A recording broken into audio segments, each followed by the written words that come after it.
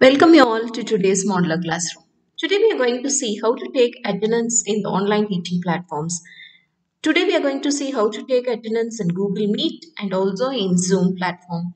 In these two platforms we can take the attendance so that we can take an entry of who are all the students who attended the meeting.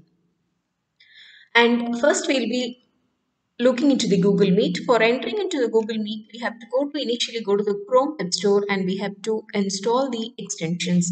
Already we have posted a video on Meet attendance in the Google Meet platform.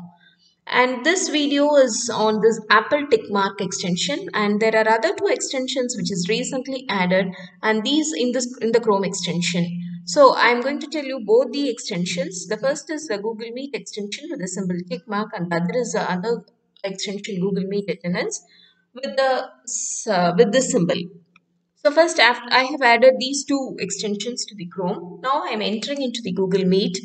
Now here somebody wants to admit. I enter. I am giving on the admit. I have already shared the link. The meeting has started. See we have find the your meet has started.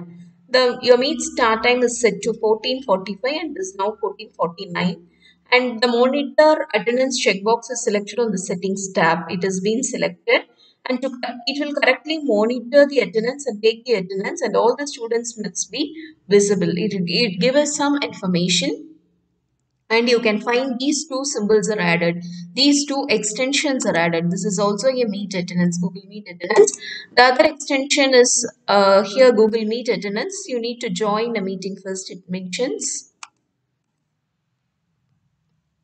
So in here it says who are all the participants. Once I can click on the attend. In this extension, if I click on attend, it give me the information at the bottom. Who are all the information and what is the time they were in the meeting. You can export this message as the at uh, text. So a text message can be downloaded in this extension.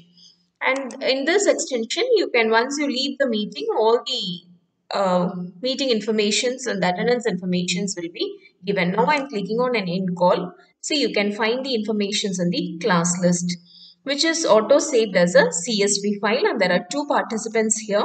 You can collect this information. You can uh, clear the informations or you can save it as a HTML file and even you can click on the download clear attendance checks. What are all the options which is available here? There is also some settings here. If you click on the settings monitor attendance and checkbox auto save as csv file or a html file. What information uh, we have given that can be downloaded. So it is a csv file. Now i'm opening the csv file. After downloading the attendance has been monitored. So what time they entered and what time uh, they left the meeting etc. can be taken. So this is the attendance for the class list using Google Meet and uh, you can use any extension. So this extension, tickmark extension is a little bit uh, detail, give you a detailed explanation on who, what is their arrival time and how many uh, time they were in the meeting, etc. And in this symbol, assembly extension, it gives you as a text or you can try, you download in the drive. Next, when you take the Zoom platform, here you can uh, take the attendance using the chat box. So in the chat box, uh, here you can ask the student to give the messages they should type who are all in the meeting. Here the participant can chat with there are four options no one host only everyone publicly everyone publicly and privately here we should select host only now i have asked the student to give the attendance the students have joined the class, gave their attendance as they be present, Priya present. So they gave the attendance and now what I can do is I can download the attendance. How I can download? I click on the save chat.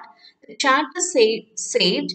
Once I click on show in folder, meeting saved chat will be open. Here you can find the chat. Here you can select and uh, you can uh, copy to Excel and then you can go for sorting.